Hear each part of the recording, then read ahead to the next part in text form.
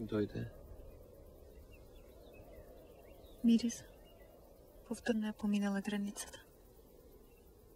А што си ти радар? Не. Би се изненадил колку често сум во право. Значи ти зборуваш, а? Понекогаш. Кога сонувам. Во сон? Да, сон. А што сонуваш? Како летам. Како?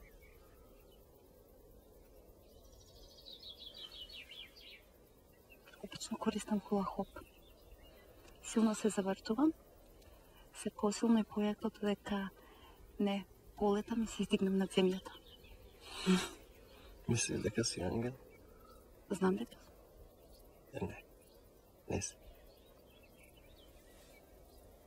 Ја имам видено ангели.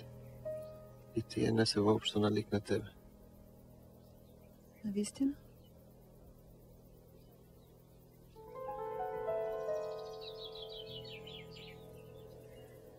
Имаш видено море? Да. Имам еден сон. Уште еден? Седев покрај морето, близко до водата. Ми приде една ајкула и побара помош од мене. Беше пријател. Николку колку јас многу го сакам и го ценам. Ја запрашав како можам да ја помогнам. Таа ми рече, молам, дај ми го твоето мало прсте. Многу сум гладна. И треба да вечерам пред да падне ноќта. И ти што направи? Беше пријател. Не можев да ја одбијам. И што ви го даде прстот? Да, Дали сум јас и кулата?